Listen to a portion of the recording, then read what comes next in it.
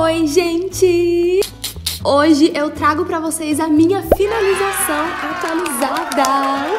Gente, eu comentei com vocês esses dias, eu tava querendo trazer minha finalização atualizada, só que eu estava sem finalização nenhuma do momento, assim, sabe? Eu, cada dia eu tava finalizando meu cabelo de um jeito diferente, mas nos últimos dias, nas últimas semanas, eu comecei a finalizar o meu cabelo de um jeito que eu tô gostando muito, me rende muitos day afters agora no inverno e não demora, sabe? É uma finalização que ali no dia a dia eu faço rapidinho, não tem muito segredo, sabe? Mas eu vou até aproveitar o vídeo para indicar e pra falar para vocês quais os produtos que eu tô gostando de usar. E é isso, se vocês gostam de vídeo de finalização, cliquem muito, muito, muito aqui no gostei para eu saber, né? E se inscreve aqui no canal para acompanhar os próximos vídeos. Vamos lá.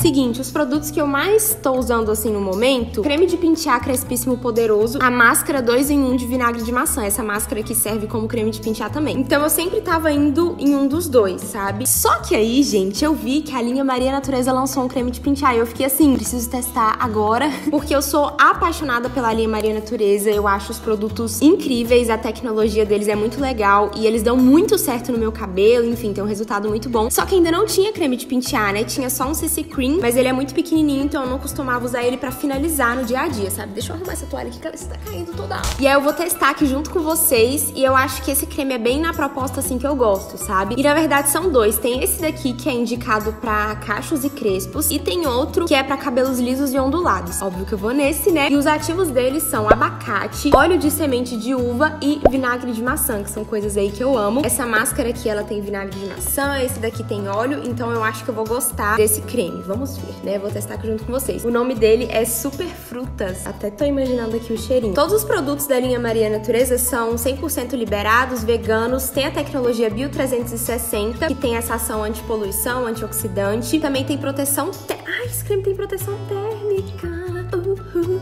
Eu amo produto com proteção térmica. Tem proteção UV. É que assim, gente, a maioria dos cremes tem proteção UV, mas nem todos têm a proteção térmica. E eu amo quando tem proteção térmica. Nossa, gostei, viu? Nossa, já vi que vou usar muito. Esqueci de fazer uma coisa que eu tô fazendo muito na minha finalização. Com o cabelo assim ao meio, eu venho com um olhinho reparador e aplico, porque esses olhinhos eles têm proteção térmica. Só que como o creme já tem, eu poderia nem passar. Só que como eu estou fazendo a minha finalização atualizada, eu vou usar. Vamos lá.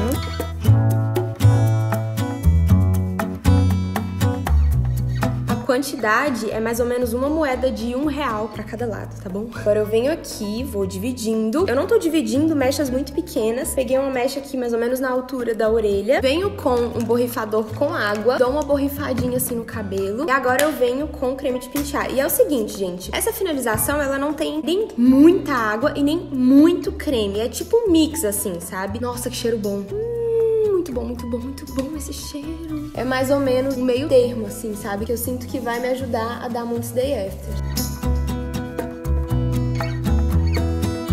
Pego uma quantidade mais ou menos assim, ó, e vou massageando bem. Nossa, gente, esse creme rende muito. Pera aí. Aí quando eu vejo que eu pego uma quantidade que vai além, eu deixo aqui, ó, nessa parte aqui que a gente ainda não finalizou. Aí, por enquanto, eu não vou fazer nada não. Eu só aplico, né, massageio, deixo, né, não faço nenhuma fitagem muito certinha. Já vou partir pra outra mecha. A próxima mecha eu pego mais ou menos aqui na altura da sobrancelha. Ó, mais ou menos essa quantidade, assim, ó.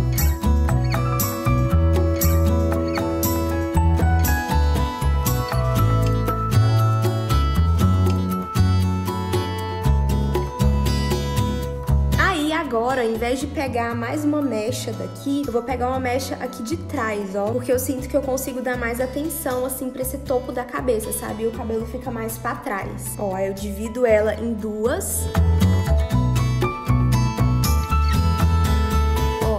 quando eu vejo que tem alguma mecha mais embaraçada, eu venho com a escova para me ajudar. Mas normalmente eu desembaraço o cabelo no banho, sabe? Quando eu aplico ali o condicionador e tal. Pego mais uma mecha daqui e outra daqui. Essas mechas aqui do topo, elas são um pouquinho menores, ó.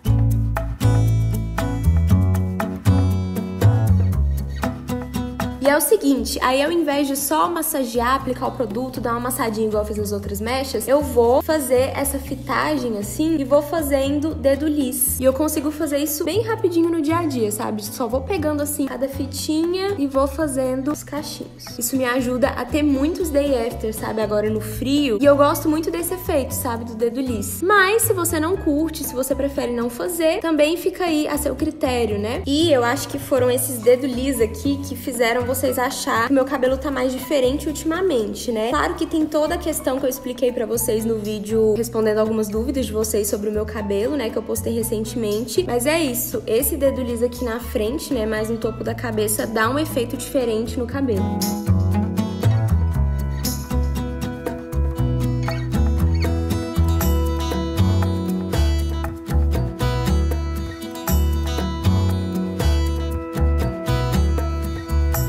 Pego mais uma mechinha aqui pra trás, ó, separa essa mechinha aqui de trás e prendo esse restante. Gente, é incrível como a finalização na vida a gente faz bem mais rápido. Quando é pra gravar, menina, não sei o que que acontece. Eu enrolo muito mais, vai entender.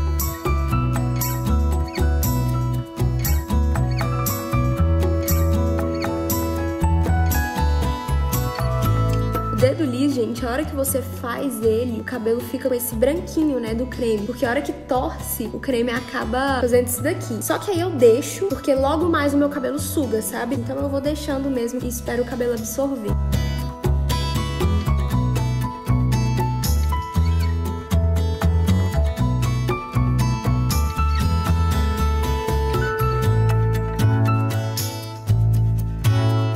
Pronto, gente, ó, coisa prática. Antes de tudo, eu venho com óleo reparador, depois eu venho com creme de pentear mais consistente, mecha por mecha, e mais aqui no topo da cabeça eu vou fazendo o dedo lis. Não aplico mais nenhum produto, mais nada, e também não vou chacoalhar minha cabeça de um lado pro outro, porque como eu falei, né, agora no inverno meu cabelo tende a ficar mais ressecado, enfim, então eu não vou ficar chacoalhando ele muito não, vou deixar ele aqui quietinho absorvendo o produto. Eu tô deixando ele secar naturalmente ultimamente. Eu só venho com o secador quando eu realmente preciso sair sair ou eu quero dar mais volume, enfim, mas eu tô tentando deixar ele secar mais naturalmente. Então hoje o que que eu vou fazer? Eu vou deixar ele secando aí durante a tarde. Se eu for usar o secador, enfim, não sei como vai ser no decorrer do dia, eu vou compartilhando tudo com vocês. Tem alguns outros truques também que eu tô gostando de fazer e eu vou contar tudo para vocês mais tarde. Então é isso, já volto. Voltei. Gente, deixa eu explicar para vocês o que, que aconteceu. Já é outro dia. As cenas que vocês estavam assistindo, né? Eu gravei ontem à tarde. Acabou que eu não consegui gravar a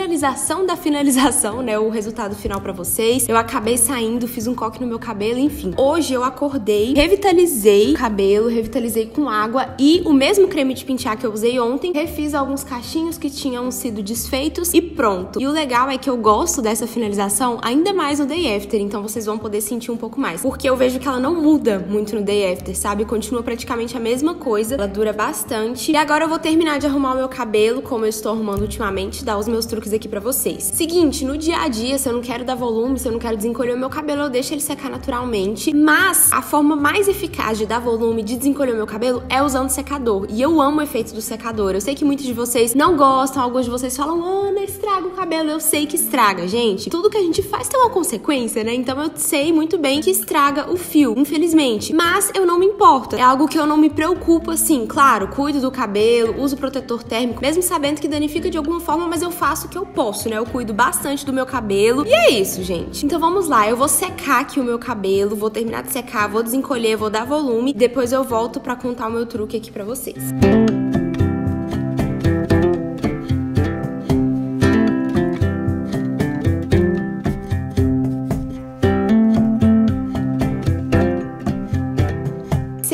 cabelo. E aí, agora é que vem o truque pro meu cabelo ficar desencolhido por mais tempo. Porque o que que acontece? A gente desencolhe o cabelo, faz algum truque, mas passa um tempo, o cabelo encolhe de novo, né? No day after, principalmente. E isso aqui que eu tô fazendo me ajuda bastante. Foi até a Mona, Mona Lisa Nunes, que me deu essa dica. Ela falou que tinha testado e que tinha funcionado super bem. E eu realmente tô gostando muito, que é o seguinte. Secou o cabelo, meu cabelo ainda tá quente. E geralmente eu vinha com o jato frio do secador. Mas eu não estou fazendo isso mais eu venho aqui, ó, pego um rabicó e deixo a franja solta e prendo só essa parte de trás do meu cabelo assim, ó.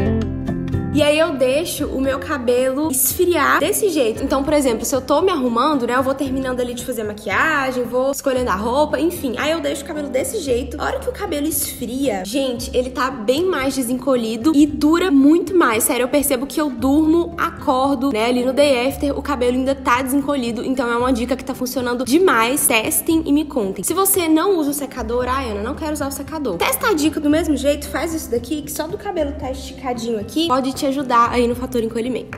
E esse é o resultado final da finalização. Fica com um efeito diferente por causa do dedo liso, por causa desse desencolhimento que a gente faz aí no cabelo, mas eu tô gostando bastante desse resultado. Não fica com tanto volume assim, como vocês podem perceber, não é aquele volumão, mas se eu quiser dar mais volume eu consigo também, porque o cabelo fica soltinho, então é só vir com mais pente garfo, chacoalhar mais com as mãos e também me rende muitos day afters, né? Sério, gente, dura muito, muito, muito essa finalização. E aí o que eu tô fazendo para dormir, colocar uma touca de cetim, eu sinto que ajuda bastante a manter aí. Ou então eu durmo com o cabelo solto mesmo, sem touca, na fronha de cetim. E a respeito do creme, gente, eu estou apaixonada. Eu só vou usar esse creme de pentear agora, sério. Eu achei que deu muito brilho no meu cabelo e ele é super concentrado, sabe? Eu acho que ele vai render muito e o cheiro dele é muito bom. Nossa, ele deixa o cabelo muito, muito, muito macio, sem palavras. E os ativos dele também são maravilhosos. Gostei, vou usar demais. E é isso, um beijo, fiquem com Deus e até a próxima. Tchau!